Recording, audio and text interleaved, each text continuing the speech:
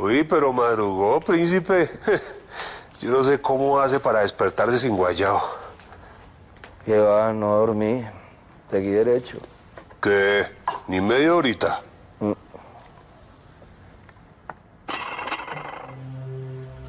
Uy, mijito. Ahora sí que lo veo enredado. Oh. Esa mujer le enredó la cabeza y el corazón. Ah, qué va, flaco.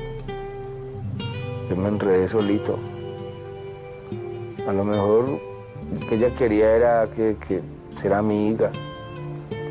No sé, como darle celos al novio, quién sabe, hermano. Por eso fue que la acercó.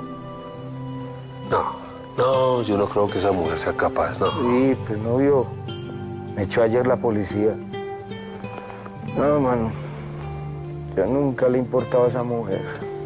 Tampoco, debe ser consentido, no exagere. No, es que no es exageración, flaco, no es exageración. Una mujer y yo pertenecemos a un mundo muy distinto. Nada que hacer. ¿Sabe qué, príncipe? Yo a usted le echo la segunda en todo. Le he embalado algunas veces en este caso para que esté junto a la doctora. Pero con todo el dolor del alma le tengo que decir que... que tiene razón. Se montó en la película que no era. Hey, flaco. Usted lo ha dicho.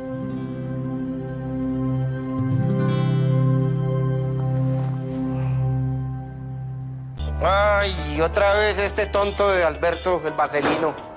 No le va a contestar. No, no, contéstelo, no sea así, hombre. No, si no conociera a mi gente bella de Colombia. Llama a pedirme plata, flaco. Ay, usted gastándose la plata aquí en rumba, bonito así, ¿no? Ay, no me regañe más, hermano, que para eso salgo a camellar. Sí, pero usted tiene que guardar plata para pagar la cuenta del restaurante. No puede dejar a Villita colgado a la brocha. ¡Que sí, hermano! Buen día. Señores, adelante, por favor. ¿Y esa cara? Ah, ya entiendo. Nunca habían visto algo como esto. Esto es simplemente un desayuno gourmet. Sin changua, chunchullo, ni chicharrón. Con permiso. Venga, venga. No, no se haga mala sangre. Venga, venga.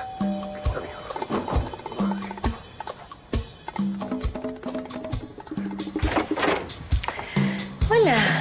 Madame. ¿Su desayuno? Nunca pensé que el desayuno al que te referías fuera...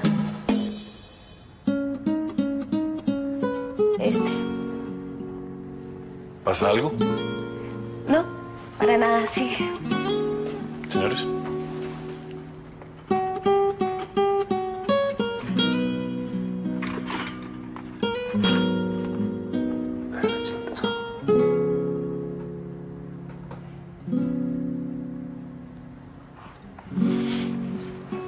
Venga, deje así.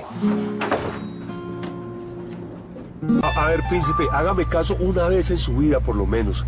Sálgase de ese edificio, porque le van a volver su vida a cuadritos, hermano. ¿Cómo así, flaco? ¿Usted me está diciendo que abandone todo, hermano? Sí, señor. ¿Que venda? Sí, señor, sí, sí. Porque es lo mejor que puede hacer o no. Mire, su mamá ya le cantó las zonas. Usted vea, vende el apartamento, paga todos sus deudas. Y le queda un capital y ya se le arregla la vida. No, no, yo no voy a hacer eso, flaco. Tiene que ser terco, hombre. Ya se dio cuenta que es un imposible con la doctora, que eso no hay nada que hacer ahí. No, no, no, no, la doctora es otro cuento, hermano. Pero no les voy a dar gusto a esos ricachos. No, señor, voy a dar la pelea. ¿Y sabe por qué? Por la dignidad. Por eso fue que me inscribí como candidato. No, no, no, hermano, yo, yo de verdad estuve pensando en eso en estos momentos y, y no es buena idea. Yo estaba bromeando. ¿Usted cree que alguien va a votar por usted? Pero claro, hermano. Claro que sí. Yo me doy mis mañas, tranquilo. Eh, entonces, ¿qué va a hacer? ¿Es que voy a hacer? que yo sé muchos secretos de esa gente. Mejor dicho, si quieren que yo me quede callado, van a tener que votar por Oscar Leal. Uy, feo, feo, que los va a chantajear. Pues no chantajear, hermano, o lo que sea. Pero eso sí les voy a dar cátedra, hermano. Voy a demostrarles lo que es tener un edificio lleno de bacanería. Te lo prometo. Sí. Buenas. Hola.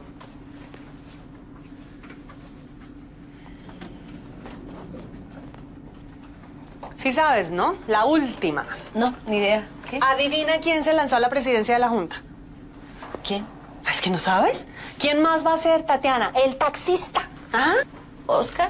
Yo puse la misma cara que tú, ¿ah? ¿Pero qué pensará ese tipo? Bueno, Clarita, la verdad eso es problema de él porque como yo ya te dije en la reunión, no quiero tener nada que ver con la administración del edificio.